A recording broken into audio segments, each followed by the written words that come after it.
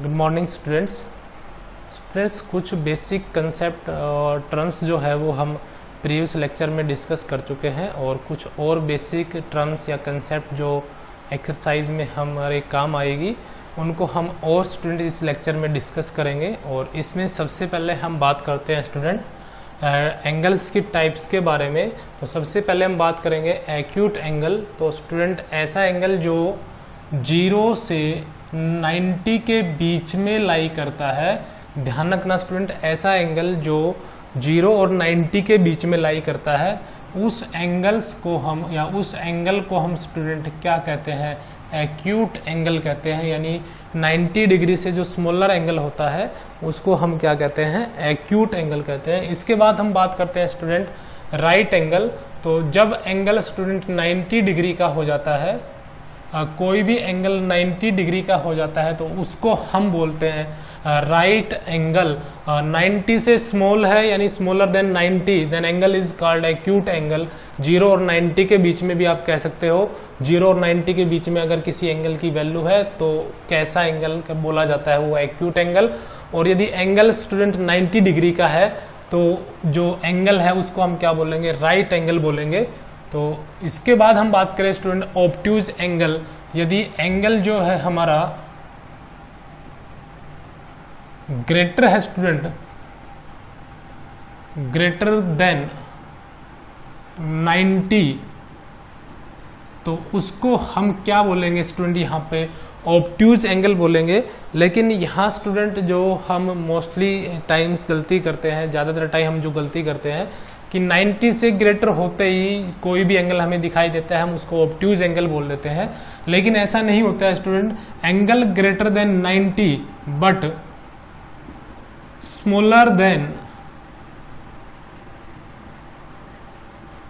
180 यानी ऐसा angle student आप इसको इस तरीके से कह सकते हो, ऐसा एंगल जिसकी वैल्यू 90 और 180 के बीच में लाई कर रही है, यानी 90 से तो बड़ा है या 90 से तो ग्रेटर है और 180 से क्या है? स्मॉलर है।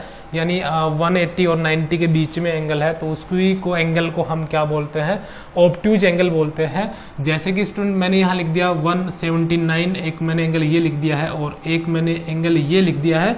तो अगर हमसे पूछा जाए कि दोनों में ऑप्ट्यूज एंगल कौन सा है तो अगर हम सिर्फ़ इस डेफिनेशन पे जाते हैं कि एंगल ग्रेटर देन 90 कि दोनों एंगल जो आप देख रहे हैं, यहाँ पर 90 से ग्रेटर है तो ऑप्ट्यूज एंगल होंगे, लेकिन क्योंकि स्टूडेंट हमने एक कंडीशन और जोड़ दी है यहाँ पे बट स्मॉलर देन 180 तो ये एंगल जो है स्टूडेंट ये 180 से स्मॉलर नहीं है तो ये ऑप्ट्यूज एंगल नहीं है। ऑप्ट्यूज एंगल स्टूडेंट क्या है?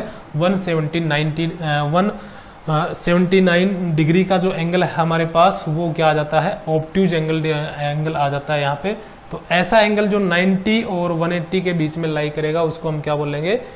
ऑप्ट्यूज एंगल बोलेंगे। इसके बाद हम बात करते हैं स्टूडेंट यहाँ पे। स्ट्रेट एंगल अगर एंगल स्टूडेंट हमारा जो है वो 180 का हो जाता है, यानी कंप्लीट 180 डिग्री का एंगल बन जाता है, यानी जो हमारे पास बात कर रहे थे हम कि कोई भी एंगल होता है, वो दो रे से मिलता है, दो रे से बनता है और उनका जो एंड पॉइंट होता है। अगर स्टूडेंट ये रे जो है स्टूडेंट टर्न करके इस तरीके से ऐसे आ जाती है तो ये एंगल जो होता है, इसको हम बोल लेते हैं कि ये 180 डिग्री का एंगल हो गया। तो एक स्ट्रेट लाइन बन जाती है 180 डिग्री पे। तो ये दोनों रो मिलके स्टूडेंट एक क्या बना देती है? लाइन बना देती है। और यहाँ कौन सी लाइन की बात कर रहे हैं? हम स्ट्रेट लाइन की बात कर रहे हैं, बिल्कुल सीधी लाइन की बात कर रहे हैं। तो जब एंगल 180 डिग्री का हो जाता है तो उसको हम क्या बोलते हैं? स्ट्रेट एंगल कहते हैं उसको।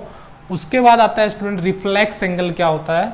तो एंगल यदि स्टूडेंट 180 से ग्रेटर क्योंकि 180 डिग्री का हो जाता है तो उसको हम क्या कहते हैं? स्ट्रेट एंगल बोलते हैं उसको। और रिफ्लेक्स एंगल की बात करें स्टूडेंट तो एंगल यदि 180 और 360 के बीच में लाई करता है तो उसको हम क्या कहते हैं स्टूडेंट रिफ्लेक्स एंगल बोलते हैं। जैसे कि आप ये एंगल देख रहे हैं स्टूडेंट 181 डिग्री का जो एंगल है, वो 180 से तो ग्रेटर है और 360 से स्मॉलर है, यानी इनके बीच में लाई करता है। तो ये एंगल जो है स्टूडेंट कैसा एंगल है? ये रिफ्लेक्स एंगल है। तो ऐसा एंगल जिसकी वैल्यू 180 यानी 180 से ज़्यादा हो और 360 यानी 360 से कम हो, उस एंगल को हम क्या बोलते हैं स्टूडेंट रिफ्लेक्स एंगल बोलते हैं। इसके बाद हम बात करते हैं कंप्लीमेंट्री एंगल्स इसका मतलब क्या है स्टूडेंट कंप्लीमेंट्री एक अकेला एंगल नहीं होता है। कंप्लीमेंट्री एंगल में दो एंगल हम शामिल करते हैं। तो ऐसे एंगल स्टूडेंट जिनका सम ऐसे टू एंगल जिनका सम जो है वो 180 हो जाता है। Two angle, two angles, whose, sum, is sorry, complementary angle की बात कर रहे हैं तो उनका जो सम है वो कितना होना चाहिए? 90 डिग्री होना चाहिए। तो अगर स्टूडेंट दो कोई भी एंगल है हमारे पास उनका सम स्टूडेंट 90 डिग्री का है तो उन एंगल्स को हम क्या बोलते हैं? कॉम्प्लीमेंट्री एंगल बोलते हैं। जैसे कि स्टूडेंट हम बात करते हैं यहाँ पे दो एंगल, जैसे एक एंगल मैंने लिख लिया वन डिग्री का, और दूसरा मैंने लिख दिया स्टूडेंट 89 डिग्री का। तो अगर हम इन दोनों का सम करते हैं वन डिग्री में 89 डिग्री को ऐड करते हैं तो हमारे पास रिज़ल्ट आता है 90 डिग्री। तो ये दोनों जो एंगल है स्टूडेंट ये जो एंगल है वो कैसे एंगल कहलाएँगे? कॉम्प्लीमेंट्री एंगल कहलाएँगे। इसके बाद हम बात करते हैं सप्लीमेंट्री एंगल तो कॉम्प्लीमेंट्री में जो एंगल का सम है स्टूडेंट वो कितना हुआ? 90 सप्लीमेंट्री में एंगल का जो सम है, बात कर रहे हैं टू एंगल की। तो सप्लीमेंट्री में जो एंगल का सम है स्टूडेंट वो कितना होना चाहिए? 180 डिग्री होना चाहिए, यानी अगर two angles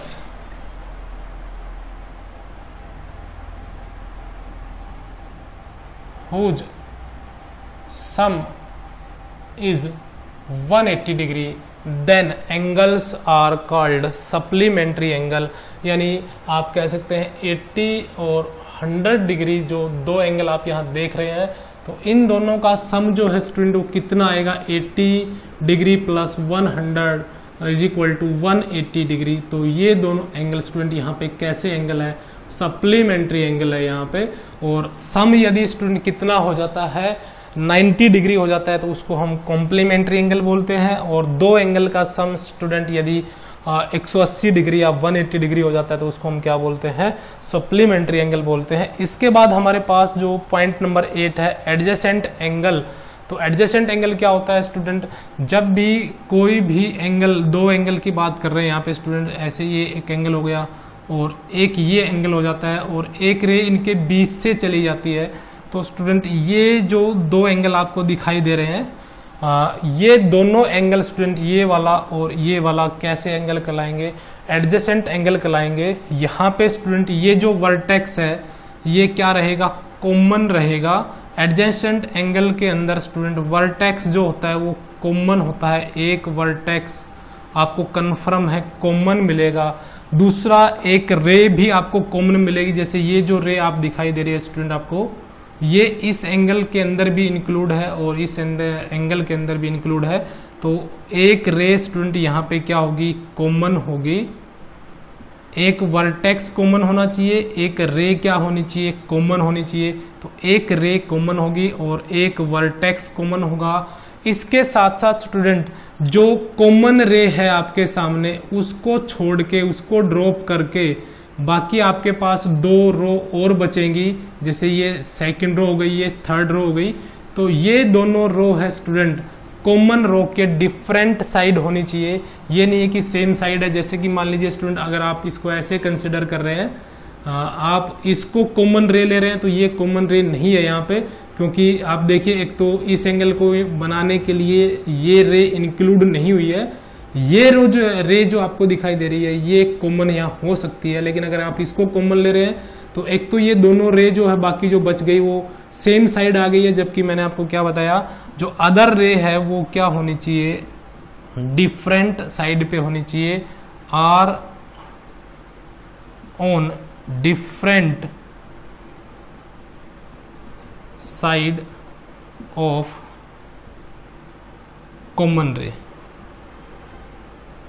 तो ये तीन चीज़ें स्टूडेंट एडजस्टेंट एंगल में हमें ध्यान रखनी है। सबसे पहले हम बात करते हैं कि वर्टेक्स कॉमन होना चाहिए, एक वर्टेक्स कॉमन होना चाहिए, एक रे कॉमन होनी चाहिए, और जो दो डिफरेंट साइड आपके पास बच जाती है कॉमन रे को छोड़ के, वो क्या होनी चाहिए? डिफरेंट साइड होनी चाहिए। यानी एक जैसे कि इस साइड है तो दूसरी इसके बिल्कुल अपोजिट साइड होनी चाहिए। तो हम कहते हैं कि दोनों एंगल क्या है? स्टूडेंट एडजेसेंट एंगल है। जैसे कि स्टूडेंट किसी भी आप क्वाड्रिलेटरल के अंदर इस तरीके से एंगल ले रहे हैं आप, और इस डायगनल को आप मिला देते हैं तो ये वाला जो एंगल है स्टूडेंट इस एंगल के क्या है एडजेसेंट एंगल है, क्योंकि इन दोनों एंगल में स्टूडेंट ये वर्टेक्स कॉमन हो जाता है, और ये जो रे आप देख रहे हैं यहाँ पे, ये जो रे है स्टूडेंट यहाँ पे ये कॉमन रे हो जाती है, और बाकी जो दो आर्म्स इसकी बचती है एंगल्स की टोटल तीन आर्म्स है a one two and three तो अदर टू आर्म्स जो है वो डिफरेंट साइड हो जाती है, एक उस साइड हो गई और एक इधर हो गई तो ये दोनों एंगल स्टूडेंट कैसे एंगल कहलाते हैं, एडजस्टेंट एंगल कहलाते हैं। इसके बाद हम बात करते हैं लीनियर पेयर एंगल्स और लीनियर पेयर एक्जियोम्स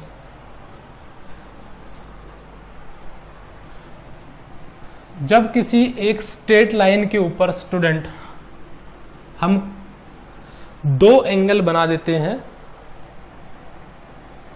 ये जैसे एक स्ट्रेट लाइन हो जाती है स्टूडेंट, और इसके ऊपर मैंने ये एक रे जो है स्टूडेंट यहाँ पे मेंशन कर दिया तो इसके ऊपर स्टूडेंट दो एडजस्टेंट एंगल बन जाते हैं, एक ये और एक ये वाला एंगल तो आपको क्लियर दिखाई दे रहा होगा स्टूडेंट अगर हम इसको पॉइंट का एंड पॉइंट कंसिडर करते हैं तो एक रे ये हो जाती है, एक रे ये हो जाती है, एक रे ये हो जाती है। तो इन दोनों का सम यदि स्टूडेंट 180 हो जाता है इस एंगल का और इस एंगल का तो उसको हम क्या बोलते हैं? लीनियर पेयर बोलते हैं। लीनियर पेयर एक्जियम्स बोलते हैं इसको। इसके अंदर स्टूडेंट हमने दो रिज़ल्ट शामिल किए हैं। सबसे पहले तो हम बात करेंगे कि अगर एक स्ट्रेट लाइन के ऊपर दो एंगल बने हुए हैं वन और टू तो इनका जो सम है स्टूडेंट वो कितना होना चाहिए? 180 होना चाहिए। 180 डिग्री ही रहेगा हमेशा। तो इस रिज़ल्ट को, इस रूल को हम क्या बोलते हैं? लीनियर पेयर एक्जियोन्स बोलते हैं। और दूसरा स्टूडेंट रिज़ल्ट क्या आता है? मान लीजिए स्टूडेंट दो एंगल है एडजस्टेंट एंगल है, जैसे कि ये दोनों एडजस्टेंट एंगल है।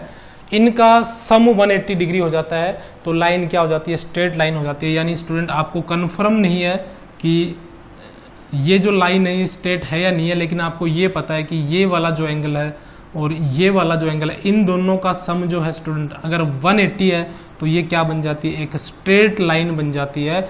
और दूसरा जो इसका मैंने कन्वर्स बताया स्टूडेंट क्या, कि स्ट्रेट लाइन के ऊपर अगर दो एंगल बने हुए ये तो इन दोनों का सम 180 होगा।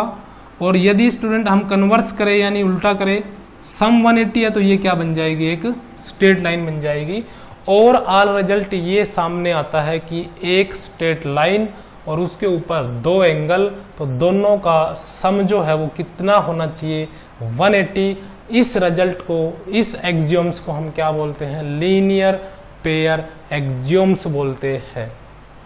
तो इस तरीके से स्टूडेंट ये हमने कुछ जो बेसिक टर्म्स है, वो यहाँ इस लेक्चर में डिस्कस की।